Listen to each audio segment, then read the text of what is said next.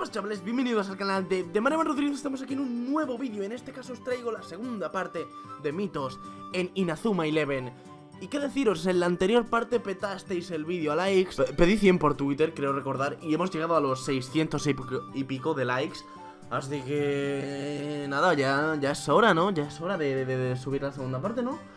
Nada, dentro intro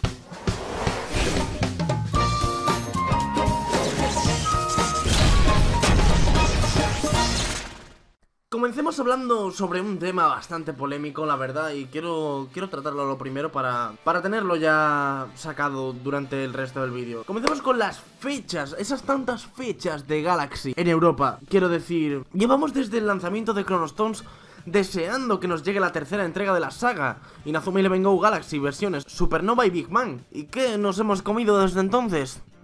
Una mierda. Sea por X o Y temas, Nintendo ha decidido no sacar estas entregas en Europa y en el resto del mundo, exceptuando, obviamente, a Japón. Y pues ha dado pie a infinidad de teorías y a infinidad de usuarios creando fechas falsas por internet, sea desde la sátira, desde la comedia, o sea intentando parecer verdad.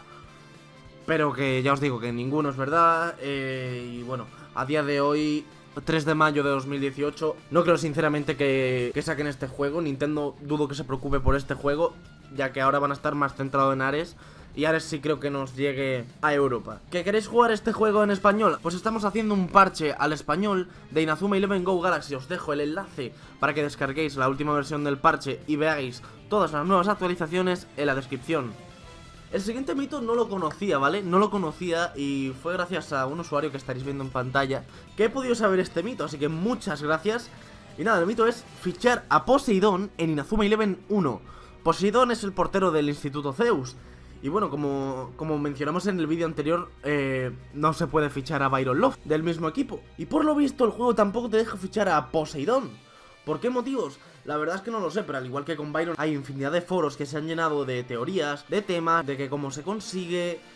Y pues gente inventándose cosas locas para intentar conseguir a Poseidón, pero que ya os digo, como todo aquí, no se puede conseguir a Poseidón, exceptuando si sabes cambiar texturas en los juegos y añades a Poseidón al juego, entonces sí podrías fichar a Poseidón, pero ya os digo que en Inazuma Eleven 1 no se puede fichar a Poseidón. Pasamos al tercer mito, que también vuelve a ser polémico. Vamos esta vez con las contraseñas de Inazuma Eleven Go Chrono Stones. Sí, estas contraseñas que se supone que deberían de haber salido ya, pero que al igual que con Galaxy nos hemos quedado obsoletos. Deciros también que Nintendo no se va a preocupar de, de ya a día de hoy traernos estas contraseñas, así que no conservéis la esperanza. Como con demás cosas, hay gente que ha hecho directos probando contraseñas al azar, han puesto números al azar en foros de 3D juegos, han... miles, miles de cosas, intentando que funcionen las contraseñas, pero Obviamente como son cifras elegidas al azar es imposible, es casi imposible saber cuáles son las contraseñas del juego. Nos trasladamos a Inazuma Eleven 2. Y en el anterior ya hablamos de fichar en Inazuma Eleven 2 a Paolo, a Héctor y poco más. En este tenemos también otro mito que decía que cómo fichar a Austin Hobbs. De esto hay vídeos en YouTube haciendo pasos bastante raros, ¿vale? Son pasos muy raros que la verdad no tienen nada que ver con Austin. Esta vez creo que la mayoría no son inventando tantos diálogos que como con Paolo, ¿vale? Pero que ya os digo que es muy ridículo fichar a Austin porque no sé... O sea, ¿nunca os habéis planteado que es un juego anterior a Inazuma Eleven 3 donde este personaje sale? Y que en Inazuma Eleven 2 probablemente Akihiro no tenía ni pensados a estos personajes lo digo por Héctor Helio, por Austin y, por Paolo, ¿vale? O sea, son personajes que aparecen en el 3 y que se incluyen en el 3. ¿Qué os, os lleva a pensar que Akihiro ya los tenía planeados desde el 2? Si los tuviese planeado desde el 2, ya los hubiese metido. Ya os digo yo que los hubiese metido, como ha hecho con Thor, con Thor Stuttberg. Seguimos con el, con el tema de fichajes y es fichar a los veteranos en Inazuma Eleven 1. Sí, el legendario Inazuma Eleven al que todos nos hemos enfrentado para pasarnos la historia en Inazuma Eleven 1. Que estoy seguro que más de uno al final de la historia ha querido fichar a Hillman, ha querido fichar a alguien más de los veteranos por el tema de tenerlos en, en su equipo y decir, oh tío, tengo a Hillman, tengo a este, tengo a gente que estaban en Inazuma Eleven. Y nos hemos llevado la sorpresa de que no, no se puede fichar a ninguno de los veteranos en Inazuma Eleven 1.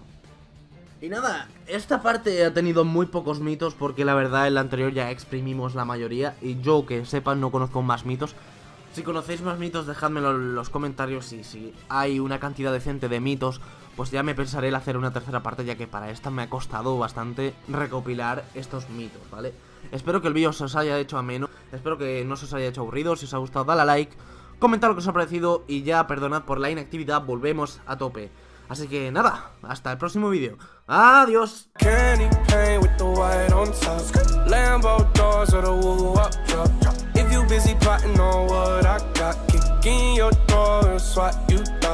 Hundred thousand dollars on the tabletop. Half price my whip, same price my watch. Got no jumper, but I ball a lot. Bitch on your